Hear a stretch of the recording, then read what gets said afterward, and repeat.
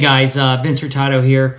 Um, recently, um, I was out fishing and a friend of mine uh, borrowed a, um, a, punch hook of mine when we were out there on the on the river, and he asked me, he's like, "Hey, this where'd you get this punch hook?" And I said, "Well, you know, I bought it at the store." He goes, "No, no, no, the the keeper. How'd you do that?" And I told him basically, I I, I get rid of the keepers that um, come with the standard uh, hooks that you buy at the store. I just I just don't like them. Um, and one of the reasons why is the standard um, keeper that it comes with. Um, it, it's a little bit high for me as opposed to where the eye is. Um, and I, I, like my keeper down a little bit lower. And number two, I don't actually uh, care for the method that they use to um, secure the hook keeper. So um, they usually like it's like a heat shrink or something like that, and then one drop of glue.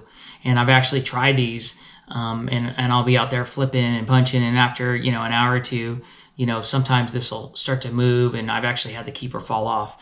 Um, so I decided, hey, I'm, I'm chucking that out, and I'll just actually tie my own keeper. So I'm not here to tell you which hook to use, but you know, just with your straight shank, this this is a um, my, my standard punch hook.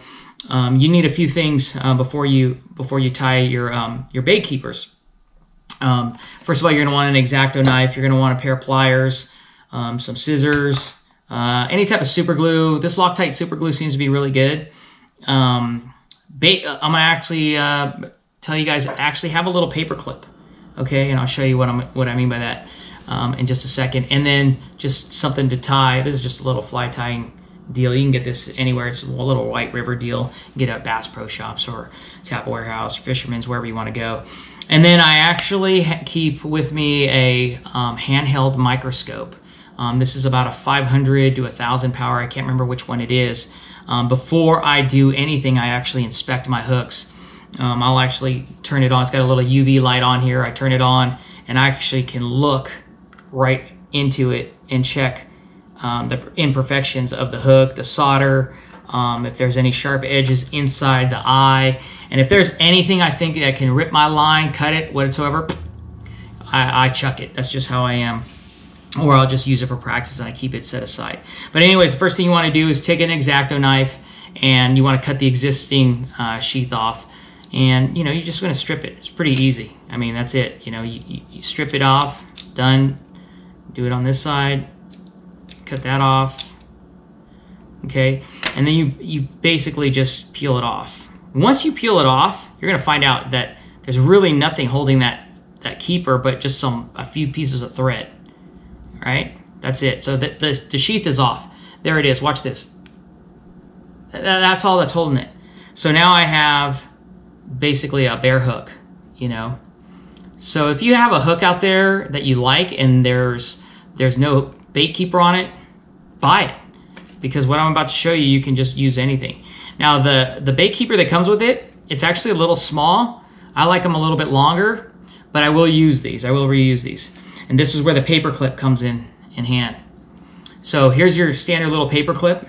You know, I take a pair of dikes, drop my glue there, have a pair, pair of dikes, and then I'll cut it about that far, right about there, okay? And then now I have this straight piece of wire. Take my little needle nose, and I'll just bend it about 35, 40 degrees. Maybe a little bit more. There you go. That's it. And I'll show you guys photos. Okay, so now you have your own bait keeper from a paperclip that you can use if you don't have one that you're taking off the hook. You want to have a vise. Um, I put this just on a ream of paper because my wife gets on me if I uh, connect it or clamp it down onto our nice kitchen table. I've got this cloth over it uh, just to keep me out of trouble, so to speak. But anyway, so I don't worry too much about cleaning the shank of the uh, hook because it, it's rough there and I actually want it there to just, you know, put a little bit of glue and it'll hold my, my keeper there real quick. So I've already put um, a hook into my, my vise, okay? And what I've done is I actually have a keeper there that I, I, I did just so I can keep this video short. But I'll take the keeper, okay? I'll take a dab, a dab of the uh, super glue, hit that shank, put it on there, and, and I'll wait for it to get a little sticky. Once it's in place for just a second, I just take my thread and just wrap it around real quick about three or four times and cut it. And I'll let it sit for about I don't know, five minutes. I'll walk away, whatever, do, do whatever it is I need to do, clean up, get a glass of water, have a beer. You know, it, this is my off time. I actually enjoy doing this. Once I have this and I'm set, now, now it's all business, okay? Now what I want to do is just take my line, okay? And guys, there's no secret to wrapping a hook, okay? The most important thing is that you wrap it and you wrap it tight, okay? And then there's enough thread that it's holding it. So what I like to do is I just put it right under the bait keeper, between the shank and the bait keeper, and now I, I, it'll hold, right? So I just put it just like this, okay? And this extra, this extra line, it's not a big deal. I just hold it down. I'll just go around it once or twice, okay? Now, I take this extra line and I put it right around the bait keeper, okay? This part, it doesn't even matter, but this extra line, rather than cut it off, I just put it right down the shank and I'll let it hold, I'll just let it sit there and it'll hold. Now I just wrap this thing, okay? And it does not have to be exact and perfect. Um, I'm a bit anal with my equipment, so um, I want every strand touching each other, okay? And something I like to do also is just because I got to the bottom of the, the, the bait keeper, I keep going. I don't stop. Okay, I'll go down a little bit more. Okay, now here's something that I would encourage you guys to do. Once it's there, take your super glue, okay, and just dab it, just a dot. Doesn't have to be a whole lot. And just run it down that thread. It's gonna soak in. That's all you wanna do. Then what you're gonna do is you're gonna take that existing thread again and you're gonna bring it back up and around that big keeper, okay? And then I'm gonna start wrapping back up. Okay, guys, this is not rocket science. You can do this pretty fast. All right. The main thing is to make sure you have it nice and secure. Okay.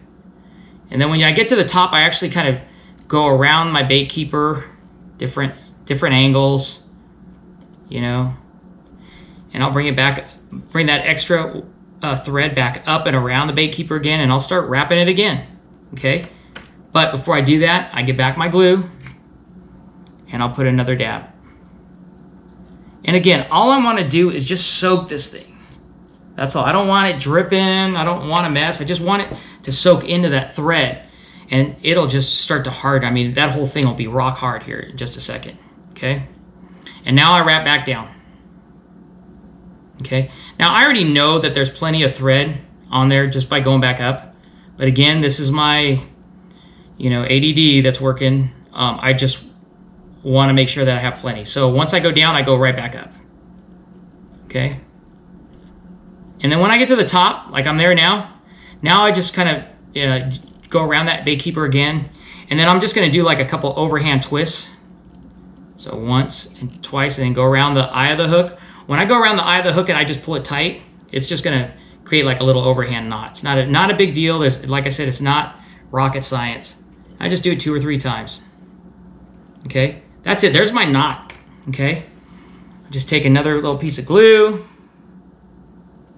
and just rub it around. Once that's done, take my scissors, cut it, and I'm done.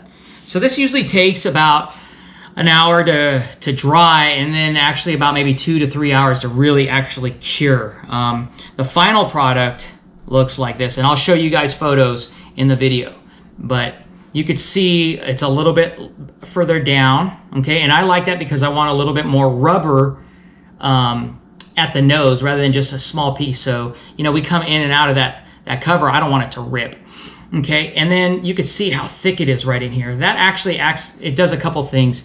It, it creates a tighter fit around my plastics so it's, it's not gonna move up and down below that keeper as well. And then over time, it starts to fray. This is what I, uh, this is perfect. I love this stuff. This hook's actually probably a year and a half old.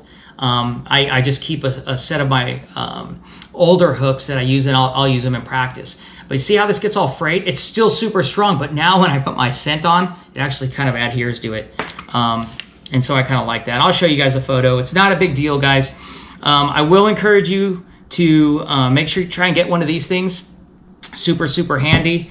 Um, I hope this tip helped you out. Um, like I said, I had a couple people ask me over the course of the years. This is what I do in the off season. I actually enjoy it. Um, I'll tie 30, 40 of these things um, at one sitting if I really have to. But honestly, what happens is I just do about 20 to 25 and it'll last me throughout the year because I still have some that I practice with. Anyways, check it out. Um, and if you like it, great. If not, you want to keep using the standard stuff that you buy at the store, that's cool too. But um, this is something I enjoy doing. Hopefully, it helps. Talk to you soon.